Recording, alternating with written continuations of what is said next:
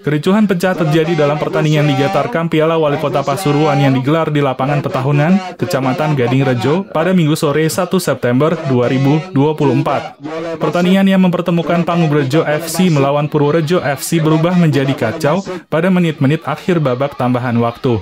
Kericuhan dipicu setelah sejumlah supporter merangsek masuk ke lapangan, mengakibatkan aksi saling pukul dan tendang antara pemain serta pendukung kedua tim.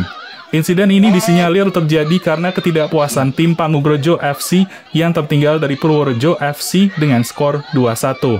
Selain itu, kemarahan supporter Pangugrojo juga terjadi akibat pemainnya ada yang ditekel keras oleh pemain lawan. Hal itu membuat para supporter merangsek masuk ke lapangan. Pihak keamanan yang terdiri dari polisi dan TNI segera bertindak cepat untuk melerai kedua kubu yang berseteru. Meskipun situasi berhasil dikendalikan, kericuhan ini menimbulkan dampak serius terhadap jalannya kompetisi. Selain itu, buntut dari kericuhan ini, tempat pertandingan akan dipindahkan kembali ke Stadion Untung Suropati, Kota Pasuruan. Keputusan ini diambil untuk meningkatkan keamanan setelah kericuhan yang terjadi di lapangan petahunan. Diketahui, piala wali kota tersebut saat ini sudah sampai babak delapan besar. Selanjutnya, pertandingan semifinal kembali digelar di Stadion Unsur.